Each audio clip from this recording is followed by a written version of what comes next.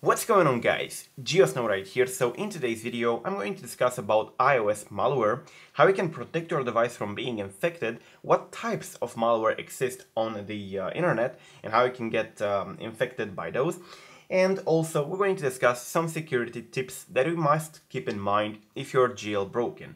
So uh, the reason I'm making this video so uh, close to the other in which I talked about a malware that is actually in the wild right now is because I made three days ago this post on Reddit jailbreak um, just to make people believe in the in the actual um, uh, danger behind the jailbreaking and to let them know what they should do and how their their device can get infected.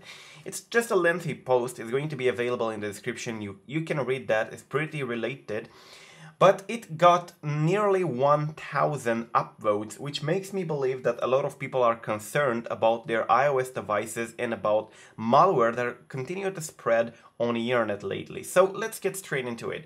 At first, I'm going to recommend you an article that is posted on veracode.com.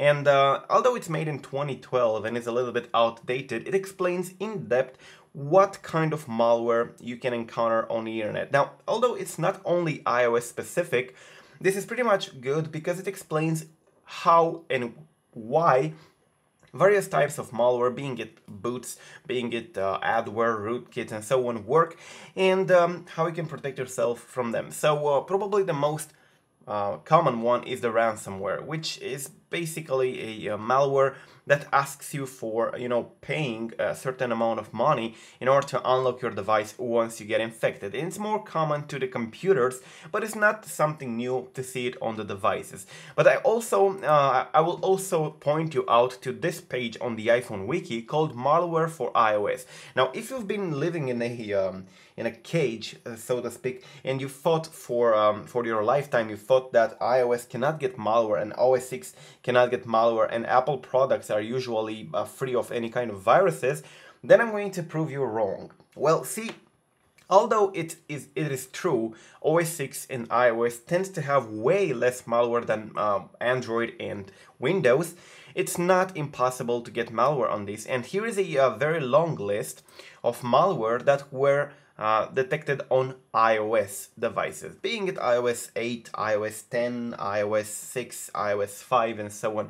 Doesn't really matter. There were attempts to hack into people's devices, and you have in here on uh, 2009, 2012, 2013, 2014, 2014 again, 2015, and even 2016 and uh, 2017 if you look at in here.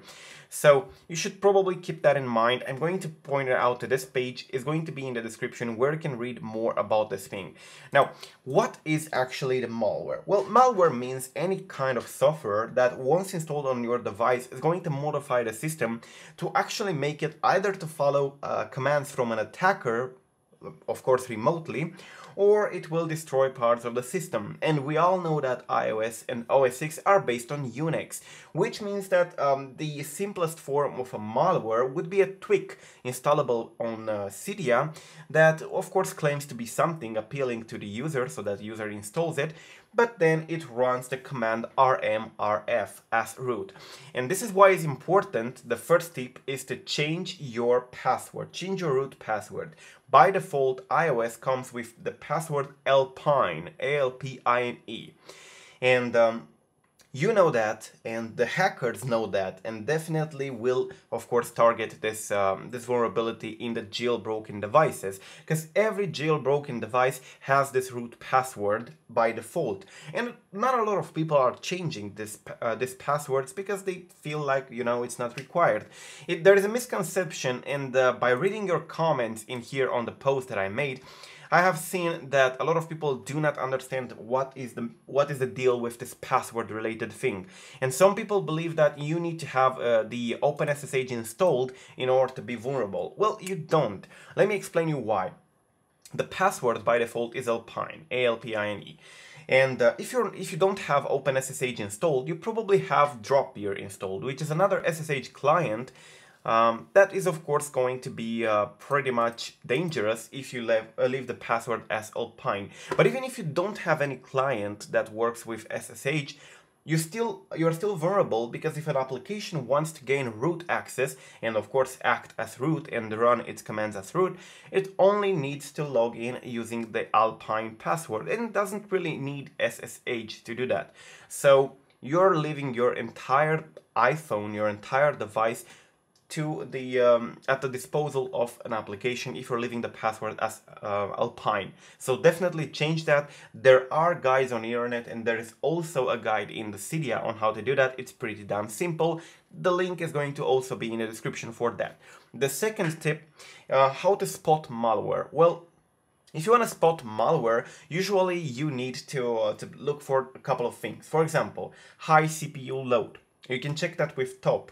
Top is an application available in Cydia that once you open it in a mobile terminal is going to show you each process running on the uh, device at that time and its CPU load. Also is going to show you its PID or uh, process ID.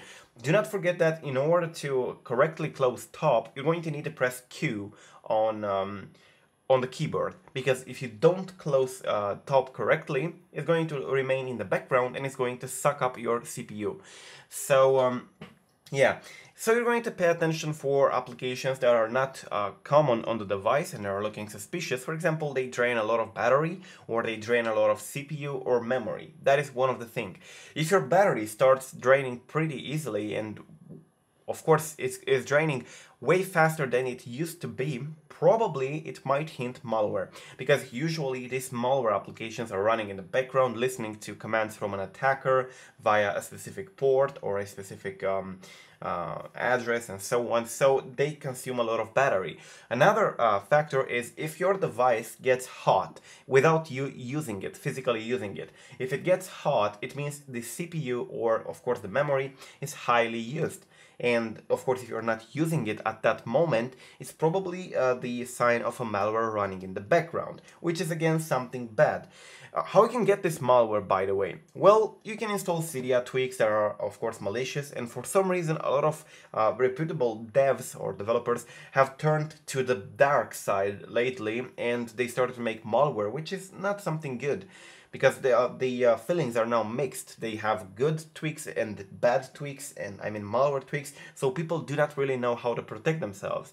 I would also um, recommend you to avoid piracy. Avoid pirate repos that provide you know free paid themes or free paid tweaks and so on. Usually they do not keep those themes and those tweaks updated to the latest version and um, by actually scrapping them, by nulling them and making them of course from paid to free, freebooting them, they can easily insert malware into that uh, tweak or theme package and so on. So you're very, very prone to get malware from those pirate repos. Cydia is actually complaining when you when you add such repo that is of course known for piracy, so you should probably pay attention to what Cydia has to say. Uh, another thing that you can do is to sideload IPAs. IPAs, of course, you probably know that are the applications on iOS and deploying them can be easily done with Cydia Impactor nowadays and there are way more websites on the internet than, um, uh, than were in the past providing IPAs for various apps that you can find in the App Store. And a lot of people tend to get them in order to, you know, install hacks for different games or to install, I don't know, uh, unlimited coins or unlimited gems for various games and so on. Now, the same thing applies in here. Somebody can easily put malware on that patched, hacked, whatever uh, IPA that you're, you are deploying. And because you're jailbroken, you have to be uh, much more safe and you, you have to be much more careful because you are giving that IPA the full access to your device. Normally, in a non-jailbroken environment, you're going to easily um, skip the malware because the application doesn't have permissions to run on anything else than mobile. But on um, on a jailbroken device, the application can easily escalate its privileges to root and do whatever it wants. It can even make your device to attack various sources as it was the case on the um, on the past days and it can also kill your device by removing important system files. So pay attention to system modifications. If your device works slow if your battery drains way quicker than normal keep in mind that battery will drain faster if you're jailbroken. But if it does that pretty often and too much and more than you are expecting it to do, then it might be a sign of malware. Also, if your network is working pretty hard, uh, if your um, if your internet connection is dropping or has bottlenecks, again, it can mean that something is using it in the background, and if it's not you, it can easily be malware. Keep in mind that normally iOS malware cannot infect computers you know, of Windows or even OS X sometimes and so on and uh, vice versa. Usually, you know, Windows malware cannot infect iOS devices by plugging them in, but you should you should still keep that in mind. Avoid keeping your devices exposed. This is actually it, guys. I really hope it makes sense what I said in here. And if you want to learn more, check out the articles. I'm going to I'm going to link in the description. Till the next time, pay attention to what you install, stay safe, and peace out.